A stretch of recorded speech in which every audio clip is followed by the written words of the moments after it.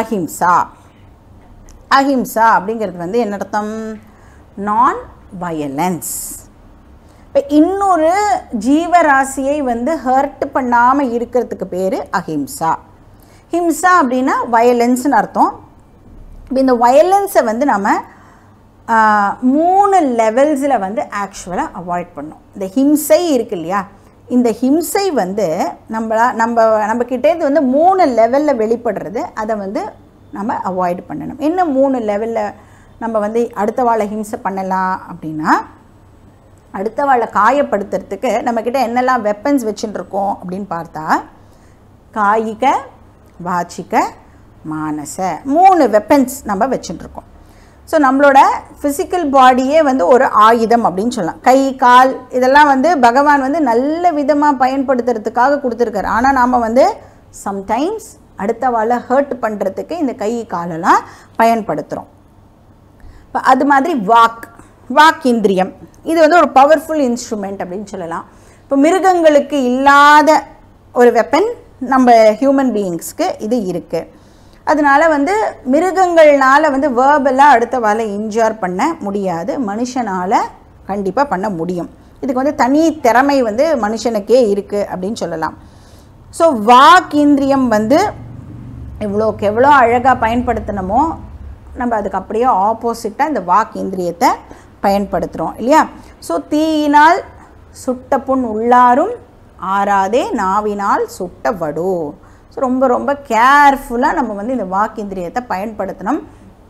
ஏன்னா வந்து வேர்ட்ஸை விட்டுட்டோம் அப்படின்னு சொன்னால் அதை மறுபடியும் நம்மளால் வந்து you cannot take it back அடுத்தது வந்து மனசு அந்த கரணம். அதுவும் வந்து ஹிம்சை கொடுக்கும்.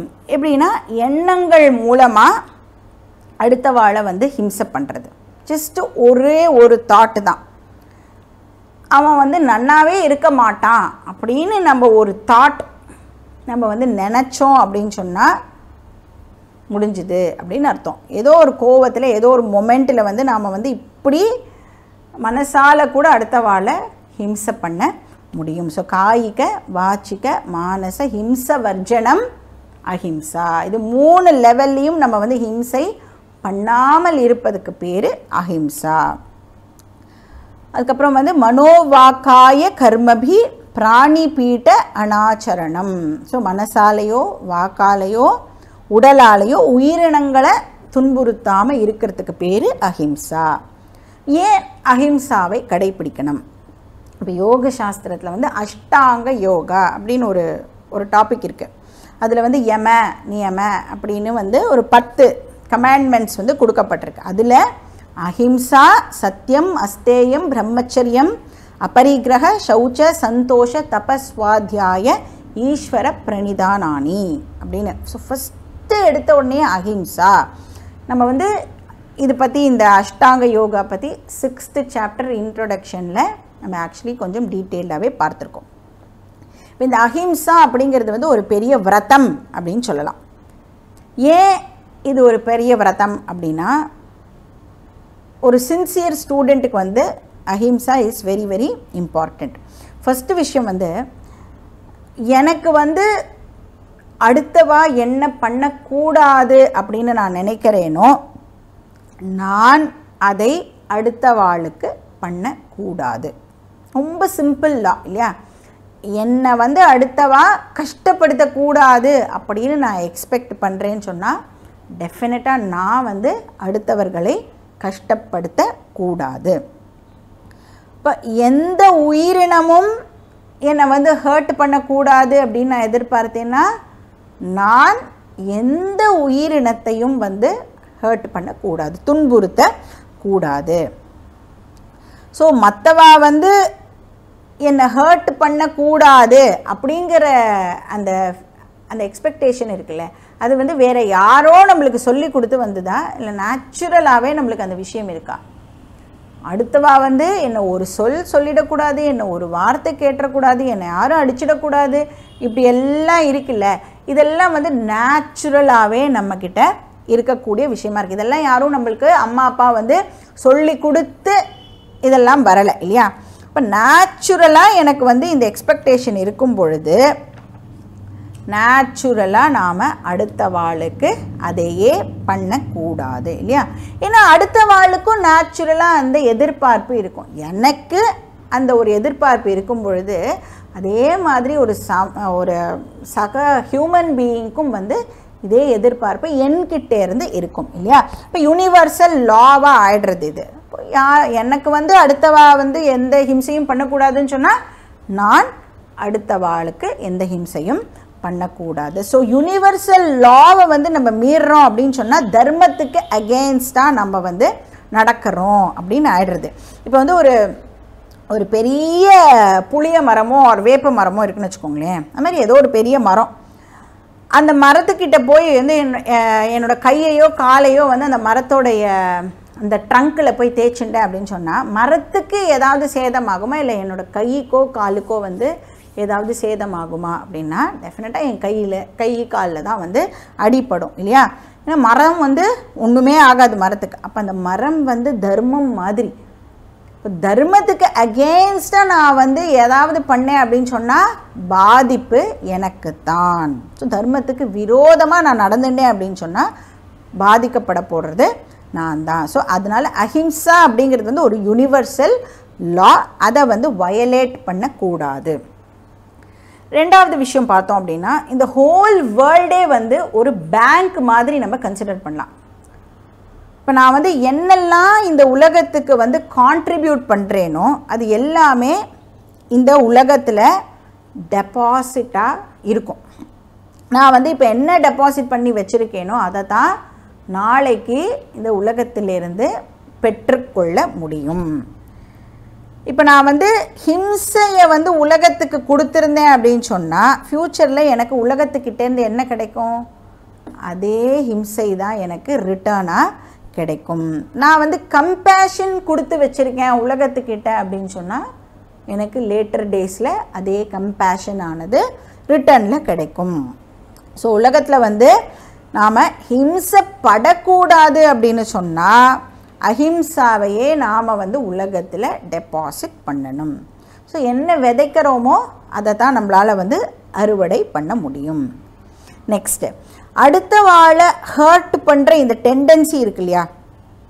அதுவும் வந்து நேச்சுரலாகவே வந்து நம்மளுக்கு இருக்கிற ஒரு டெண்டன்சியாக இருக்குது இம்பல்சிவ் அப்படின்னு சொல்கிறோம் எப்போ வந்து நம்ம ஜென்ரலாக அடுத்த வாழை காயப்படுத்துகிறோம் அப்படின்னு பார்த்தா இப்போ நம்மளுக்கு வந்து நம்ம ஃபேமிலி மெம்பர்ஸ் கிட்டே இருந்தோ இல்லைனா நெய்பர்ஸ் கிட்டே இருந்தோ சில எக்ஸ்பெக்டேஷன்ஸ் வந்து இருக்கும். இதுதான் நம்ம வந்து ராகத்வேஷம் அப்படின்னு சொல்கிறோம் அது வந்து கரெக்டாக என்னோடய எக்ஸ்பெக்டேஷன்ஸ் எல்லாம் ஃபுல்ஃபில் ஆகிட்டு இருக்கிற வரைக்கும் எனக்கு வந்து பிரச்சனையே இல்லை. நோ ப்ராப்ளம் ரொம்ப ஹாப்பியாக இருப்பேன் நான். மோஸ்ட் ஆஃப் த டைம் வந்து எக்ஸ்பெக்டேஷன்ஸ் ஃபுல்ஃபில் ஆகாது. ஏன் அப்படின்னு சொன்னால் எப்பயுமே அடுத்தவ வந்து நம்மளுக்கு ஏற்ற மாதிரியே நடந்துட்டு இருப்பாளா? கண்டிப்பாக நடக்க மாட்டான் ஏன் அப்படின்னா இப்போ எனக்கு வந்து இப்படி நடக்கணும். நான் வந்து இந்த வேலையை இப்படி பண்ணுறேன் அப்படின்னு எனக்கு பகவான் வந்து ஒரு ஃப்ரீ வில் கொடுத்துருக்காரு இல்லையா? இப்படி பண்ணலாம் அப்படின்னு. அந்த ஃப்ரீ வில்லை பயன்படுத்தி நான் ஆக்ஷன் பண்ணுறேன் அதுக்கப்புறம் வந்து அதுக்கு ரிசல்ட்டாக வந்து இவா எல்லாரும் என்கிட்ட இப்படி தான் நடந்துக்கணும் அப்படின்னு நான் எதிர்பார்க்குறேன். இப்போ அந்த பகவான் நம்மளுக்கு ஒரு ஃப்ரீ வில் கொடுத்துருக்காருல்ல அதே மாதிரி ஃப்ரீ வில் அடுத்த பர்சனுக்கும் இருக்குமா இருக்காதா? அவள் என்ன பண்ணுவா? அந்த ஃப்ரீ வில்லை யூஸ் பண்ணி நம்மளுக்கு ஏற்றா மாதிரி நடந்துப்பா? ஏற்றா மாதிரி நடந்துக்காமல் இருப்பா? இல்லை நம்மளுக்கே வந்து மாற்றி வேற வேறு மாதிரியும் வந்து அவள் நடந்துக்கிறதுக்கு முயற்சி பண்ணுவா. ஸோ ஃப்ரீ வில்லை வந்து பகவான் எனக்கு மட்டும் கொடுத்துட்டு பாக்கி பேருக்குலாம் கொடுக்கல அப்படின்னா நம்ம வந்து ஜாலியாக இருந்திருக்கலாம்.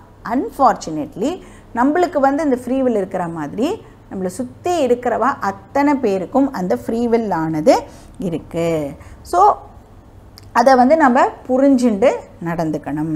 ஸோ நம்ம வந்து ஆஸ் வி க்ரோ என்ன ஆகுறதுன்னா இந்த எக்ஸ்பெக்டேஷன்ஸும் வந்து நம்மளோட க்ரோ ஆகிண்டே வருது அப்படின்னு சொல்லலாம் சின்ன வயசில் வந்து ஃபார் எக்ஸாம்பிள் எனக்கு வந்து ஒரு க்ரீன் கலர் பிடிக்கும் அப்படின்னு சொன்னால் நான் வளர வளர என்ன ஆகுறது அப்படின்னா அந்த க்ரீன் கலர்லேயே இந்த பர்டிகுலர் ஷேடு தான் என்னை வந்து ரொம்ப அட்ராக்ட் பண்ணுறது இந்த பர்டிகுலர் ஷேடு வந்து எனக்கு பிடிக்கலை அப்படிங்கிற அளவுக்கு நம்மளுடைய எக்ஸ்பெக்டேஷன்ஸ் ஆனது வந்து அதுவும் வந்து நம்ம வளரத்துக்கு ஏற்ற மாதிரி இன்க்ரீஸ் ஆகிண்டே போகிறது ஸோ நம்ம எக்ஸ்பெக்ட் பண்ணுறது வந்து ஈடேறலை அப்படின்னு சொன்னால் உடனே நம்மளுக்கு வந்து ஹர்ட் ஆகிடுறோம் நம்ம. ஹர்ட் ஆன உடனே என்ன பண்ணுறோம் அப்படின்னா எது வந்து இப்போ நான் இருக்கிற நிலைமைக்கு காரணமாக இருக்கோ அது வந்து ஆப்ஜெக்டாக இருந்தாலும் சரி பர்சனாக இருந்தாலும் சரி உடனே என்ன பண்ணுவோம்? அந்த ஆப்ஜெக்டையோ பர்சனையோ நம்ம வந்து இப்போது ஹர்ட் பண்ண ட்ரை பண்ணுவோம். அடுத்த வாழை வந்து கச்சாமச்சான திட்டுறது ஆர் அடிக்க போகிறது இந்த மாதிரி எல்லாம் வந்து அந்த இம்பல்சிவ் ஆக்ஷன் வந்து நம்மக்கிட்டேருந்து வெளிப்பட ஆரம்பிக்கிறது.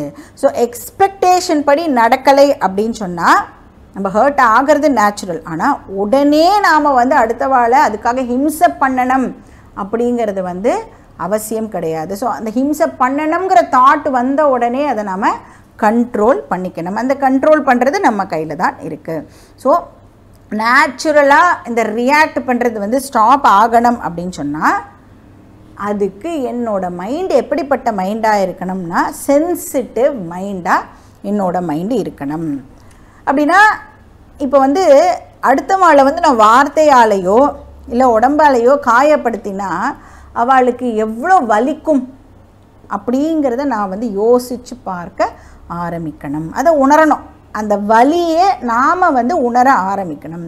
அடுத்த அடுத்தவாளோட பெயினை வந்து எனக்கு ஃபீல் பண்ண தெரியணும். ஒன்ஸ் என்னால் வந்து அடுத்த அடுத்தவாளோட பெயினை வந்து ஃபீல் பண்ண முடியும் அப்படின்னு சொன்னால் என்ன ஆகும்? இப்போ நான் யாரையாவது ஹர்ட் பண்ண ட்ரை பண்ணுறேன் அப்படின்னு சொன்னால் நான் வந்து அது என்னையே ஹர்ட் பண்ணிக்கிறதுக்கு சமமாக ஆயிடுறது. ஏன்னா நான் வந்து என்னை யோசித்து பார்க்குறேன் அவளோட வலியை வந்து என்னோட வலியாக நான் யோசித்து பார்க்கறதுனால நான் வந்து ஹர்ட் பண்ணணும் அப்படின்னும் பொழுதே வந்து அது எனக்கே நான் ஹர்ட் பண்ணிக்கிறதா ஆகிறதுனால நான் வந்து அடுத்த வாழை வாக்காலேயோ கா காயத்தினாலேயோ நான் வந்து ஹர்ட் பண்ணுறத பண்ண மாட்டேன். ஒரு மனசுனாலேயோ நான் வந்து ஹர்ட் பண்ணுறத பண்ண மாட்டேன். நான் வந்து அடுத்த வாழை ஹர்ட் பண்ணுறதை விரும்ப மாட்டேன். ஸோ அடுத்த வாழை ஹர்ட் பண்ணுறது மூலமாக என்னையே துன்புறுத்திக்கிறேங்கிறது ஒரு விதமான சைக்காலஜி இப்படி நம்ம யோசித்து பார்த்தோன்னா நம்மளால் டெஃபினட்டாக அஹிம்சாவை ஃபாலோ பண்ண முடியும். இப்போ அந்த பர்சனே வந்து நம்ம வந்து திட்டிட்டோம்னு வச்சுக்கோங்களேன் அவரே வந்து பரவாயில்லை அப்படின்னு சொன்னால் கூட நம்மளால் வந்து அதை ஒத்துக்க முடியாது. அச்சச்சோ நான் இப்படி பண்ணிட்டேனே தப்பு பண்ணிட்டேனே அப்படின்னு பல நாள் வந்து நம்மளால் தூங்க முடியாத அளவுக்கு நம்மளால் வந்து அடுத்தவாளோட வலியை வந்து உணர்கிறதுக்கு முதல்ல ட்ரே நம்மளுக்கு அந்த சக்தி இருக்கணும். அந்த மாதிரி பண்ணிட்டோம் அப்படின்னு சொன்னால் அதையே வாழ்க்கை ஃபுல்லாகவும் பண்ணிட்டு இருக்கக்கூடாது அப்புறம் இந்த கில்ட் இருக்கு இல்லையா? அதையேவும் வச்சுட்டும் இருக்கக்கூடாது இனிஷியலாக இருக்கணும். அஹிம்சாவை வளர்த்துக்கிறதுக்காக அந்த கில்ட்டை யூஸ் பண்ணிக்கணும். அதுக்கப்புறம் அந்த கில்ட் அப்படிங்கிறதும் நம்ம வந்து விட்டுடணும். இப்போ வந்து எவ்வளோ தூரத்துக்கு நம்மளுடைய மனசு வந்து சென்சிட்டிவாக இருக்கணும் அப்படின்னா இப்போ நியூஸ் பேப்பரில் வந்து எங்கேயோ ஒரு இடத்துல யாருக்கோ ப்ராப்ளம் இப்போ வந்து சைனாவில் வந்து ஃப்ளட்டு அப்படின்னு சொல்கிறா இல்லையா? அங்கே வந்து எவ்வளோ பேருக்கு வந்து ப்ராப்ளம் ஸோ நியூஸ் படிச்சும் பொழுது ஒரு ஃபைவ் க்ரோர் பீப்புள் வரைக்கும் வந்து அஃபெக்ட் ஆவா அப்படின்னு தெரிஞ்சதுன்னா நம்மளுக்கு வந்து இங்கே வலிக்கணும். சச்சோ அவள் வந்து என்ன கஷ்டப்படுவாளோ அப்படின்னு. அந்த அளவுக்கு நம்மளோட மைண்டு வந்து சென்சிட்டிவாக இருக்கணும். ஏன்னா அந்த மாதிரி சென்சிட்டிவாக இருக்கிற மைண்டுனால டெஃபினட்டாக அடுத்த வாளை ஈஸியாக ஹர்ட் பண்ண முடியாது. ஒருவேளை நம்மளுக்கு வந்து கிராஸ் மைண்ட் இருக்குது அப்படின்னு சொன்னால் நம்மளால் ஈஸியாக அடுத்த வாழை வந்து டக்கு டக்கு டக்கு டக்குன்னு நம்ம மாட்டுக்கு புண்படுத்திட்டு போயிட்டே இருப்போம். ஸோ அஹிம்சா பரமோ தர்மஹா. It is a very very important value இப்போ வந்து இந்த அஹிம்சை இருக்கு இல்லையா இதையும் நம்ம வந்து கரெக்டாக புரிஞ்சுக்கணும். இப்போ ஒரு இடத்துல தப்பு நடக்கிறது ஒரு இடத்துல வந்து அதர்மம் நடக்கிறது அப்படின்னா அதை தட்டி கேட்கலைன்னா அது வந்து ஹிம்சா. தட்டி கேட்கறது அந்த இடத்துல வந்து அஹிம்சாவாக ஆகிறது. ஒருத்தர் வந்து நம்மளை ஏமாத்துறா அப்படின்னா ஏமாந்து போகிறது ஹிம்சா. ஸோ எல்லாத்துக்கும் நம்ம வந்து அப்படியே பணிஞ்சு போகணும் ஹர்ட் பண்ணக்கூடாதுங்கிறதுனால இப்படி போயிடக்கூடாது நம்ம. தப்பாக புரிஞ்சுட்டு போயிடக்கூடாது. இப்போ வந்து வாஞ்சிநாதன் அப்படின்னு வந்து ஒரு ஃப்ரீடம் ஃபைட்டர் நம்ம எல்லாருக்குமே தெரிஞ்சிருக்கோம். அவன் வந்து அவர் வந்து ஜென்ரல் ஆஷ் அப்படிங்கிறவரை வந்து சுட்டு கொலை பண்ணினவர்.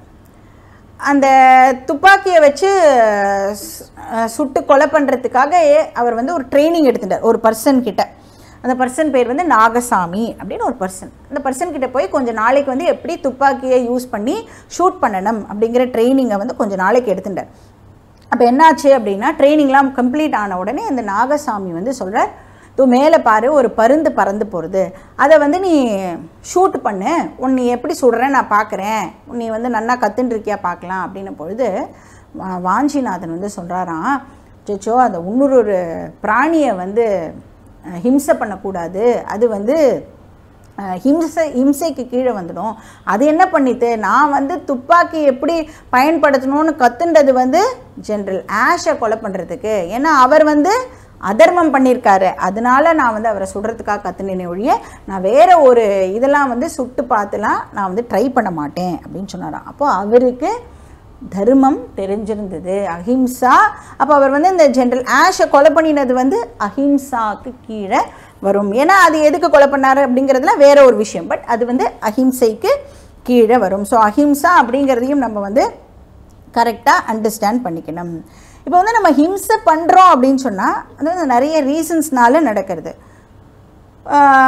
அடுத்தவா வந்து நம்மக்கிட்ட நடந்துக்கிற விதத்தை வச்சு நம்ம வந்து அடுத்தவாளை ஹிம்சை பண்ணுறோம் இது ஒன்று அதுக்கப்புறம் வந்து இந்த இன்ஃபீரியாரிட்டி காம்ப்ளெக்ஸ் அது ஒரு பெரிய தொல்லை இந்த இன்ஃபீரியாரிட்டி காம்ப்ளெக்ஸ் இன்ஃபேக்ட் கொஞ்சம் கர்வம் கூட நம்மளுக்கு இருந்துட்டா பிரச்சனை இல்லைன்னு நினைக்கிறேன். இன்ஃபீரியாரிட்டி காம்ப்ளெக்ஸ் இருந்தது அப்படின்னு சொன்னால் அடுத்த வாழை ஹர்ட் பண்ணுறது வந்து நேச்சுரலாக ரொம்ப சர்வசாதாரணமாக அடுத்தவாளை வந்து ஹர்ட் பண்ணிகிட்டே இருப்போம்.